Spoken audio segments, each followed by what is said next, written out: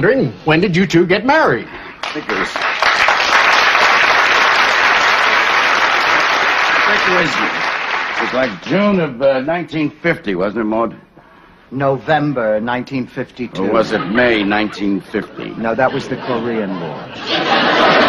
What's the difference? I've never had any memory for dates. No, me neither. I'm terrible at dates. Well, when did you two get a divorce? April 10th, 1954. At 2.30. Right. Now, all we have to do is Xerox this stuff, sign it, and by next week, that five acres in Maine is going to belong to another happy couple. It's kind of late.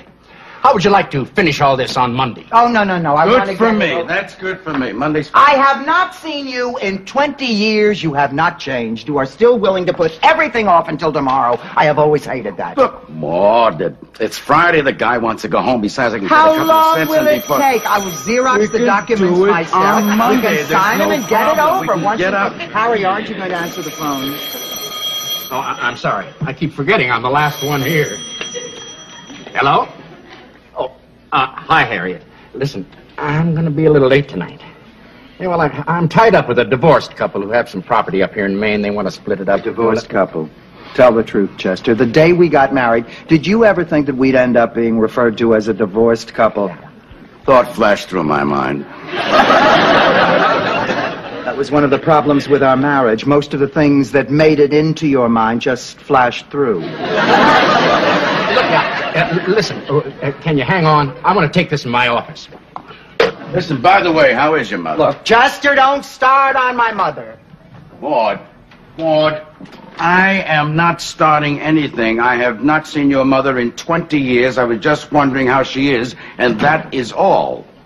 I'm sorry, Chester. No, she's fine. She's just fine. Too bad.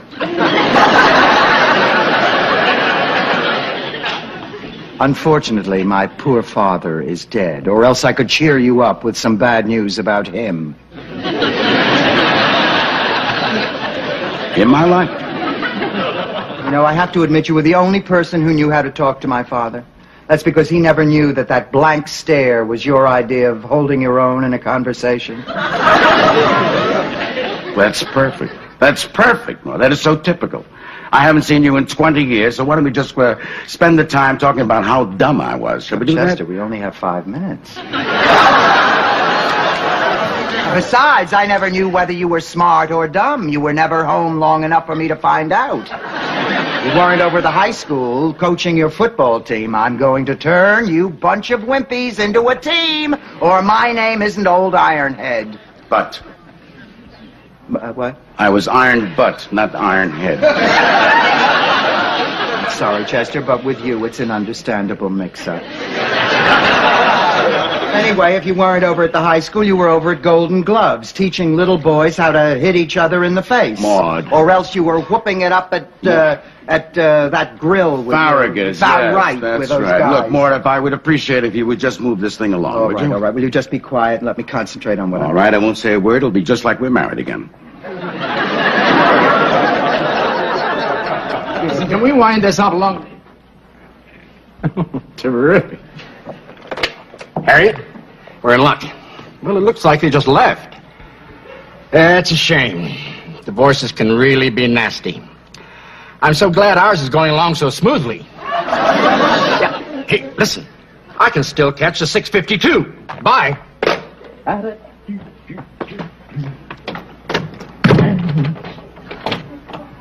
Oh,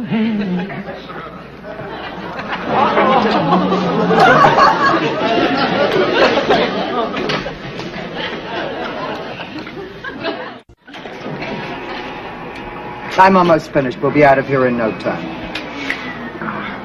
Not that I imagine you have any pressing engagements to go to dressed like that. Why, what's the matter with the way I'm dressed? Well, nothing. Nothing at all. I mean, it makes perfect sense to show up for a business meeting at a lawyer's office in Midtown Manhattan dressed like a Concord grape. You go again, Maud. Always a little joke at my expense. Slam dunk. I'm sorry, Chester. In fact, you look very attractive in that windbreaker. Thank you. I sell these now. You're kidding. No, thirty-four ninety-five. Fabulous.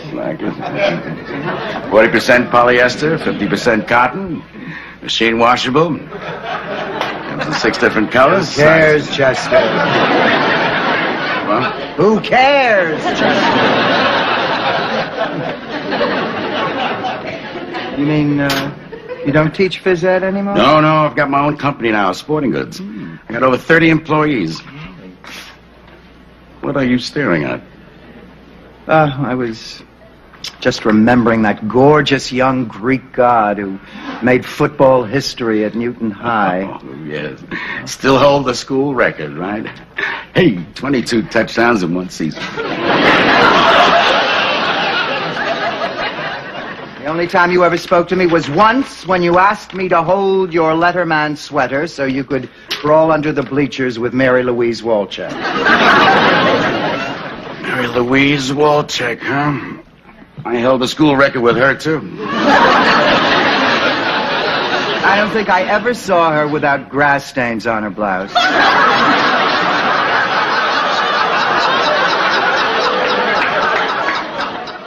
Gee, I wonder whatever happened to her. She's still the organist at her father's church.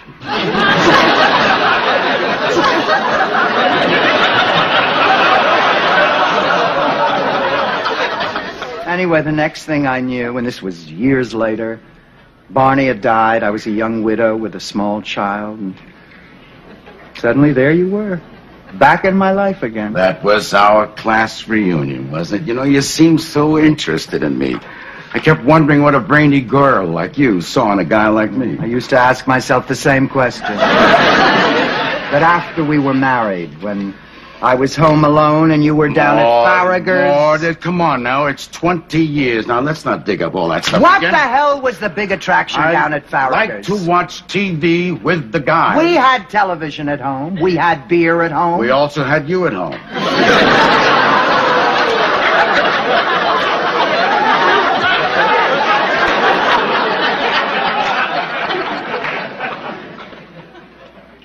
Maud, we're two grown-up, mature people. Can't we spend five minutes without tearing away at each other? Look, let's face it, there was never any love lost between us.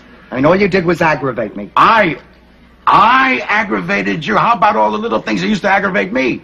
Like when I used to brush my teeth there, you'd have a sink full of combs or silk stockings. Or some... You want to talk? Yeah, you want to talk? You want Yeah. to talk? Go ahead. How about how you woke up every morning snorting with that post nasal? Hmm. and the way you ate poached eggs with your mouth open. I never ate poached eggs before. Open wide You open. cannot eat poached eggs with your mouth open. I end up having wife problems when you're married. I'm, I'm, I'll be damned if I want them when I'm single. I'm getting out. I'm Great, great. Go ahead. It's been great seeing you again, Maud. Put a couple of my copies in the mail, will you, please?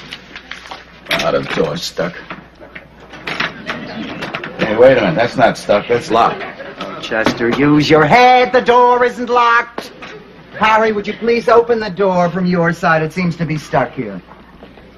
Harry? Harry!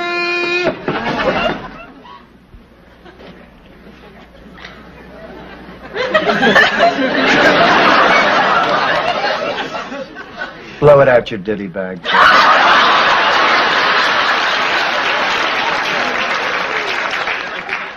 Oh my God, I bet Harry's gone home. Wait a minute. Here's, don't panic. Here's a phone.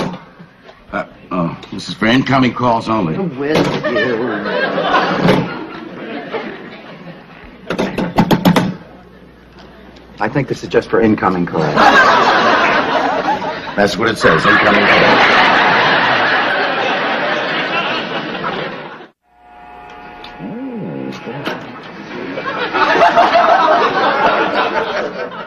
Hey, hey. Oh, Maud, look at this. it's a perfect copy of my entire forearm. Isn't that terrific? Here and all. What time is it, Chester? I told you five minutes ago. Won't you even tell me the time when I ask Five you? minutes ago it was 9.25. It is now 9.30. In five minutes it'll be 9.35. Saved! Incoming call. Hello? Hello? Look, please don't say anything. Let me talk. We're locked up. A heavy breather. What? There was a heavy breather on the other end. Get him up here, will you? Get him up here. Talk sexy to him. Get him up. Go ahead.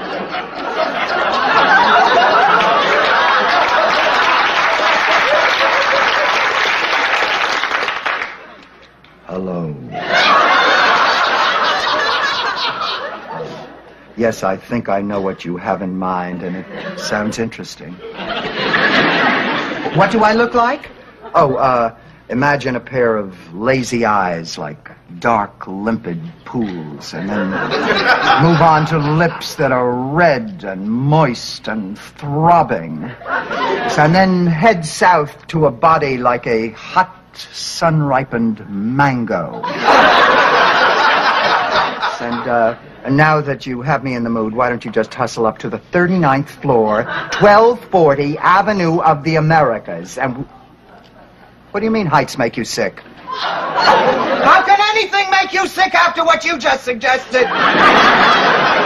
well, wait a minute, please. If you can't come up, will you at least call a policeman? I see.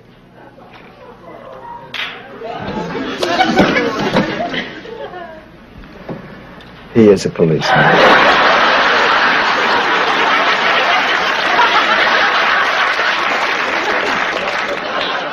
Have you, you got anything to eat in your bag? No, not unless you think a Binaca blast is nourishing. Oh, I, I remember you used to carry Oreos and Fig Newtons and ginger snaps It was and... just for Carol when she was little. I know, you spoiled that kid rotten. Oh, no. How can you be so bitter about cookies you haven't seen for 20 years?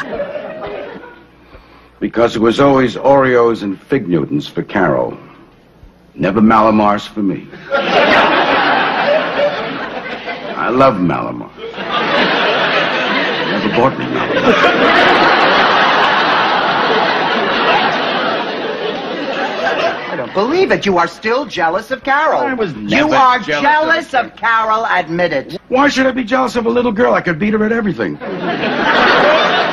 Checkers, ping pong, badminton, That's boxing, That's right. wrestling, weightlifting. That's right. That's right. Just avoid the issue like you always did. Maud, I adored Carol. Okay? Hmm? Then why wouldn't you adopt her? Why? Well, that was your fault because I could never live up to your idea of the perfect father. Reading A is for apple was not me. Understanding A is for Apple was not you. Blow it out your ditty bag. I've said it before, and I will say it again. Divorce with the wrong man is hell. But I suppose I should thank you for at least making that decision easy. No, you didn't make that decision. I decided to divorce you. Just a moment, Chester. I distinctly remember.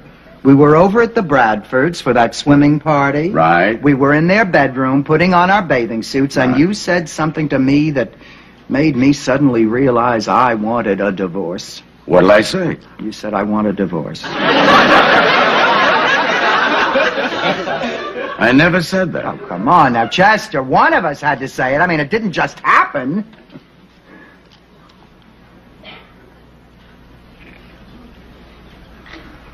We never said it. We never even talked about it. We came home from the party that day. I packed my bag. You just sat there and you let me walk out. We got a divorce without ever actually deciding to do Yeah, it. right. And Maud, I, I don't actually remember us deciding to get married either. Oh, just a minute. Now, maybe we don't remember which of us decided to get the divorce, but there is no doubt who decided we should get married. My mother. My sister and her husband. Huh? And all our friends. Hmm. I think it was because we looked right walking into a room together. Oh, it's a great reason. And everybody assumed it, and then we just went ahead and did it, huh? Boy. We stumbled into marriage and then we stumbled out of it.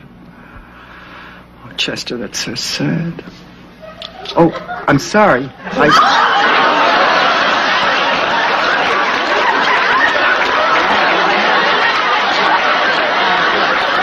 No idea. No, it's all right. It's all right. No, it's all right. How do you like it? You, Oh, it's very attractive. yes, it is. You know, I looked into hair transplants, but the hair transplants are very expensive, and it hurts too. You know. It's very good one. It's only $125. Non-static is nylon, color fixed. Yeah, you know. You go to a singles bar, it's nice because if you want to pick up a few Who chicks. cares, Chester? No, I'm sorry, Chester. You know something? I like you better without it. You do? Hmm? You know something more? You really do have luscious lips. Did I ever tell you that? Those lazy eyes, dark limpid pools, and that sun, that sun-ripened body like a mango. Chester, I just, I just said those things to try to get a degenerate interested in me. It worked. Why don't you, why don't you just forget about Walter? Just forget about everything, will you? Just think about us, huh? Please be reasonable. Not on the Xerox machine. A copy might get back to Walter.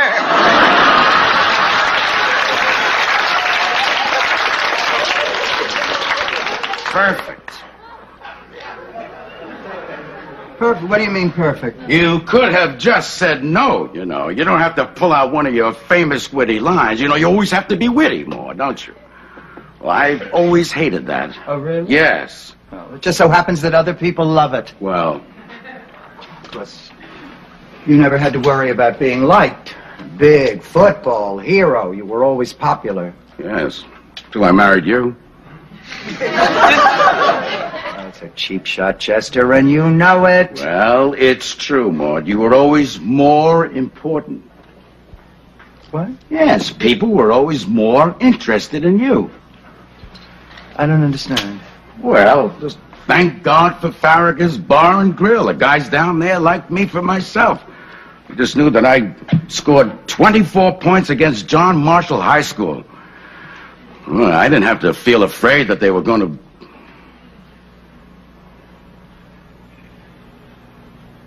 Feel afraid? Afra- you? Afraid? Wow. Boy, oh boy, oh boy. Hmm. Yes, I was afraid. I was just afraid, Maud. I was afraid that I wasn't important anymore. I couldn't compete with you. You were always so confident. Con- confident. We ass- I was scared to death. What are you talking about? Scared to death. But I learned in high school that if a girl wanted to be popular, she either had to be gorgeous or funny. So I decided to be funny because, let's face it, I was never gorgeous. Just terribly attractive. Inside, I was scared. I was scared of you, too. Maud, Don't even suggest it. Maud, we just wiped away 20 years of bitterness. Look, I know what you're It could up- be the sweetest, most loving, tender moment that, that we ever shared. Hmm?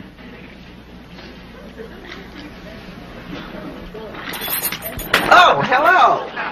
Thank heaven there is a God. No, I'm the cleaning lady. Wouldn't you know, the cleaning lady? Do you, uh, you want me to come back later? No, no, no. We were just on our way out. Oh, bless you.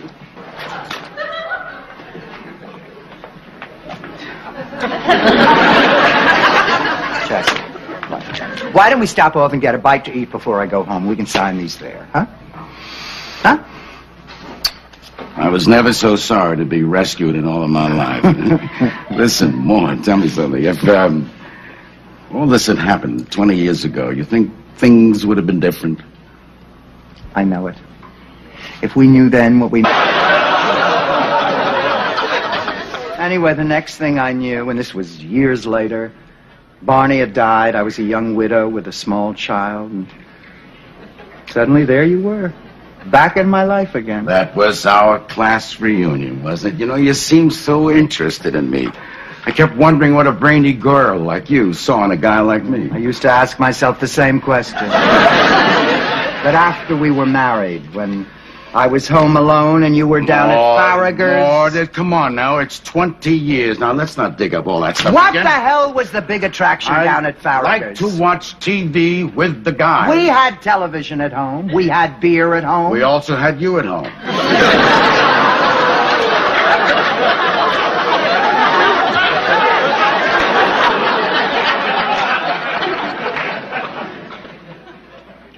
Maud, we're two grown-up, mature people. Can't we spend five minutes without tearing away at each other? Look, let's face it, there was never any love lost between us. I mean, all you did was aggravate me. I, I aggravated you. How about all the little things that used to aggravate me?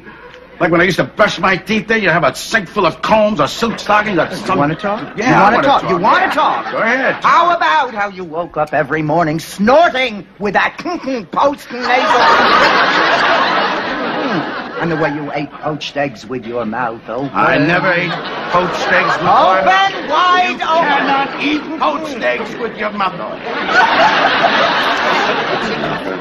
Enough having wife problems when you're married. I'm, I'm, I'll be damned if I want them when I'm single. I'm getting out. I'm Great, great. Go ahead. It's been great seeing you again, Maud.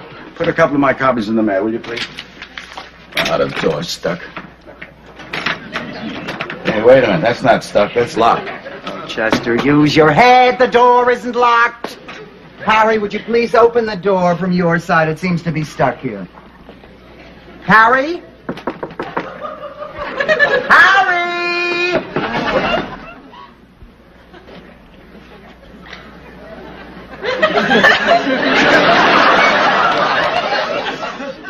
Blow it out your ditty bag.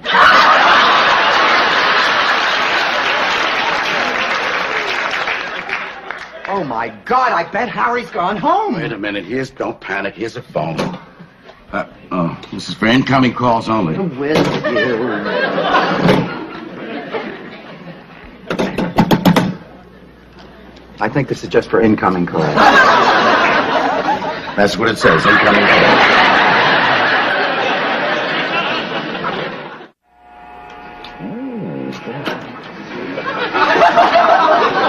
Is that anymore? No, no, I've got my own company now, Sporting Goods. I got over 30 employees. What are you staring at? Uh, I was just remembering that gorgeous young Greek god who made football history at Newton High. Oh, yes. Still hold the school record, right? Hey, 22 touchdowns in one season. The only time you ever spoke to me was once when you asked me to hold your Letterman sweater so you could crawl under the bleachers with Mary Louise Walchek. Mary Louise Walchek, huh? I held the school record with her, too. I don't think I ever saw her without grass stains on her blouse.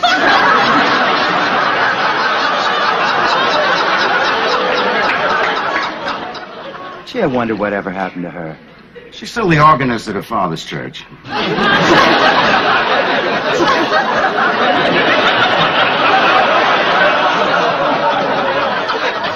Anyway, the next thing I knew, and this was years later, Barney had died. I was a young widow with a small child. And suddenly there you were, back in my life again. That was our class reunion, wasn't it? You know, you seemed so interested in me.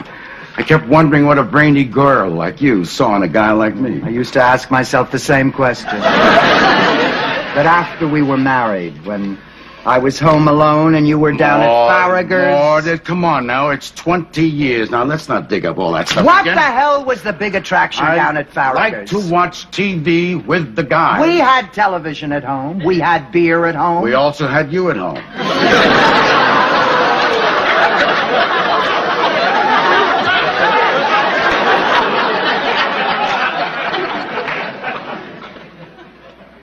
Maud, we're two grown-up, mature people. Can't we spend five minutes without tearing away at each other? Look, let's face it, there was never any love lost between us. I mean, all you did was aggravate me. I, I aggravated you. How about all the little things that used to aggravate me? Like when I used to brush my teeth there, you'd have a sink full of combs or silk stockings. Or some... You want to talk? Yeah, you I want to talk? You want Yeah. to talk? Go ahead. How about how you woke up every morning snorting with that post nasal? Hmm. and the way you ate poached eggs with your mouth open. I never ate poached eggs with my Open wide You open. cannot eat poached eggs with your mouth open. End up having wife problems when you're married. I'm, I'm, I'll be damned if I want them when I'm single. I'm getting out. I'm Great, great. Go ahead. It's been great seeing you again, Maud. Put a couple of my copies in the mail, will you, please?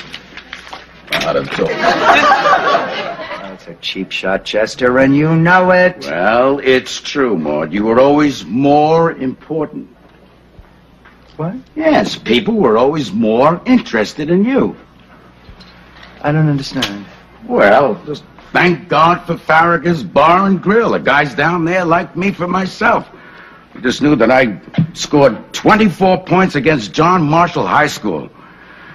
Well, I didn't have to feel afraid that they were going to.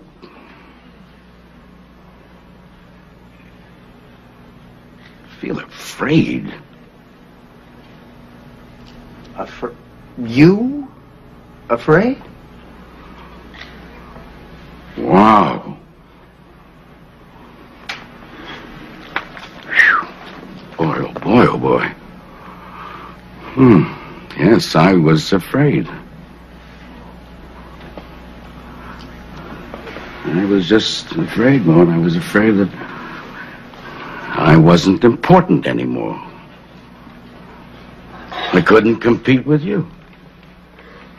You were always so confident. Con- confident. Reass- I was scared to death. What are you talking about? Scared to death. But I learned in high school that if a girl wanted to be popular, she either had to be gorgeous or funny. So I decided to be funny because, let's face it, I was never gorgeous. Just terribly attractive. Inside, I was scared. I was scared of you, too. Maud, Don't even suggest it. Maud, we just wiped away 20 years of bitterness. Look, I know what you're it reading could up. be the sweetest, most loving, tender moment that, that we ever shared. Hmm?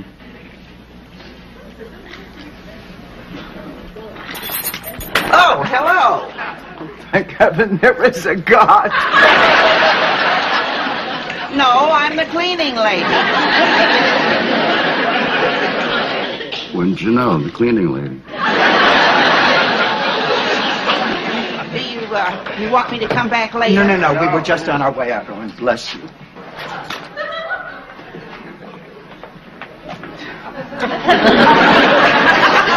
Chester, why don't we stop off and get a bite to eat before I go home? We can sign these there, huh? Huh?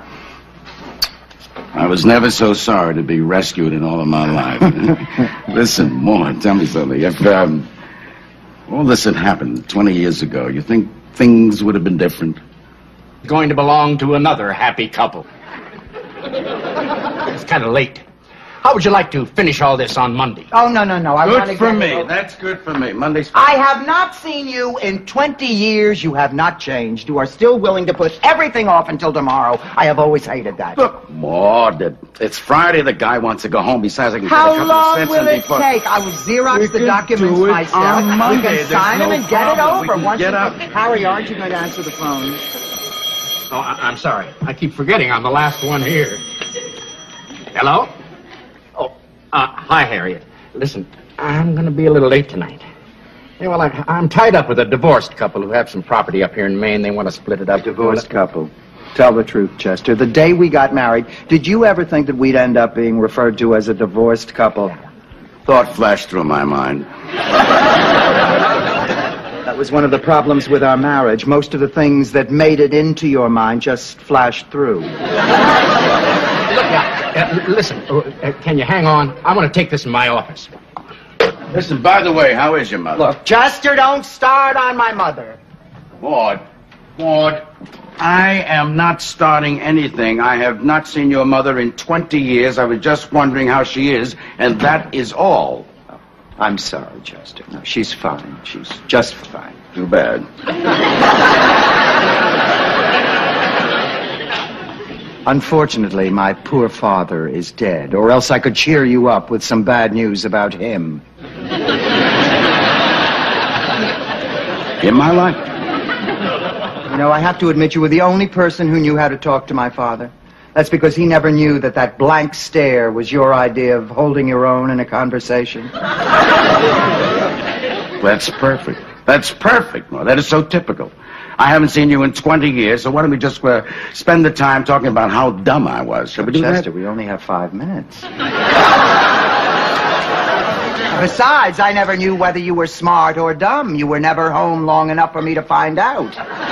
You weren't over the high school coaching your football team. I'm going to turn you bunch of wimpies into a team, or my name isn't Old Ironhead. But Uh, what? I was iron butt, not iron head.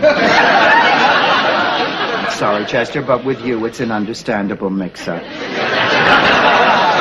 Anyway, if you weren't over at the high school, you were over at Golden Gloves, teaching little boys how to hit each other in the face. Maud. Or else you were whooping it up at uh, at uh, that grill with Farragus. About yes, right that's with those right. guys. Look, Mort, if I would appreciate if you would just move this thing along, All would right, you? all right. Will you just be quiet and let me concentrate on what All I'm right, I won't say a word. It'll be just like we're married again. Listen, can we wind this up along? I look like? Oh, uh, imagine a pair of lazy eyes like dark, limpid pools, and then move on to lips that are red and moist and throbbing. And then head south to a body like a hot, sun-ripened mango. And, uh, and now that you have me in the mood, why don't you just hustle up to the 39th floor, 1240 Avenue of the Americas, and... w- What do you mean heights make you sick? How can anything make you sick after what you just suggested? well, wait a minute, please. If you can't come up, will you at least call a policeman? I see.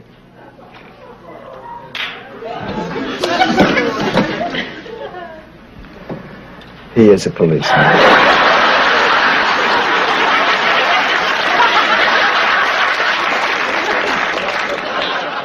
Have you, you got anything to eat in your bag? No, not unless you think a Binaca blast is nourishing. Oh, I, I remember you used to carry Oreos and Fig Newtons and ginger snaps It was and... just for Carol when she was little. I know, you spoiled that kid rotten. Oh, no. How can you be so bitter about cookies you haven't seen for 20 years? Because it was always Oreos and Fig Newtons for Carol. Never Mallomars for me. I love Mallomar. Never bought me Mallomar. I don't believe it. You are still jealous of Carol. I was never You are jealous jealous of of Carol, admit it. Why should I be jealous of a little girl? I could beat her at everything. Checkers, ping pong, badminton, boxing, That's- wrestling, weightlifting. That's right, that's right. Just avoid the issue like you always did. Maud, I adored Carol. Okay? Hmm? Then why wouldn't you adopt her? Why? Well, that was your fault because I could never live up to your idea of the perfect father. Reading A is for apple was not me. Understanding A is for apple was not you. Blow it out your ditty bag. I've said it before, and I will say it again. Divorce with the wrong man is hell. But I suppose I should thank you for at least making that decision easy. No, you didn't make that decision. I decided to divorce you. Just a moment, Chester. I distinctly remember. We were over at the Bradfords for that swimming party. Right. We were in their bedroom putting on our bathing suits, and you